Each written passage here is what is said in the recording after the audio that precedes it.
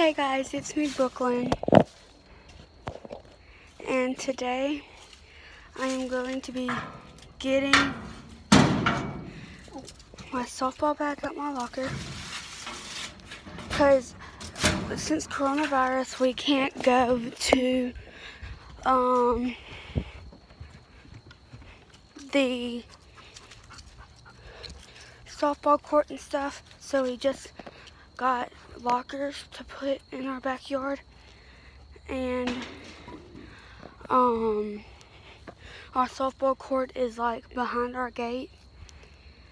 And I actually kind of like it because it is really, I'm so sorry. I have a gate in line right here. That's because I'm propping all up on the gate that is in front of my softball court in my backyard. We made a softball court in my backyard. And today we are going to be showing you my softball bag.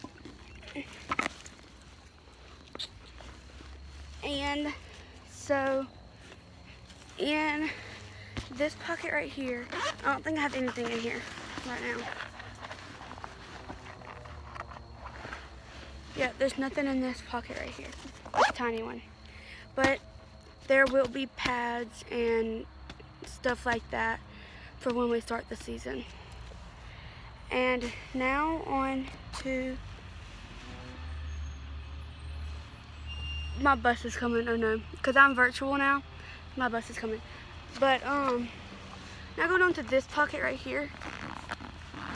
This leads into where I keep my softball, and I use 12 inch softballs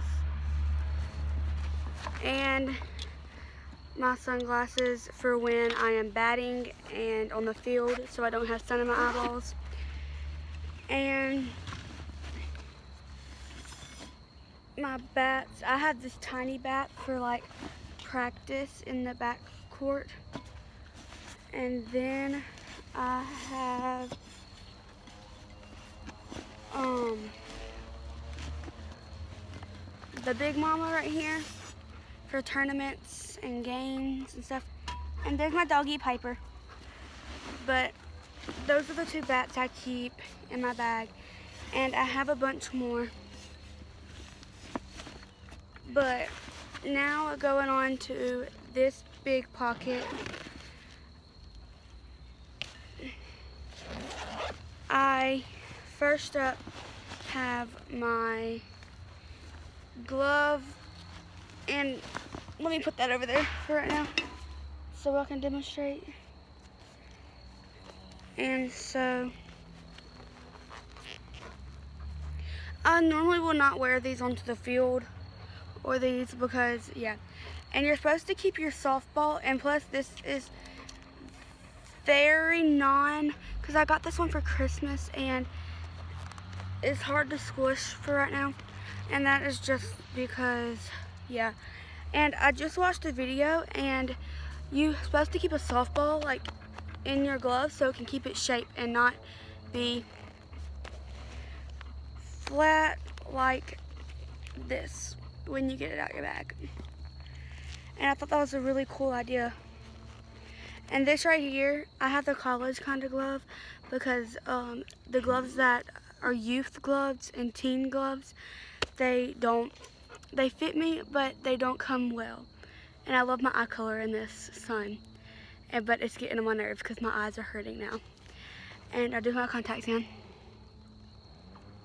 And um, I, I, I usually will keep contact, um, extra contact lens and um, contact solution in my bag just in case of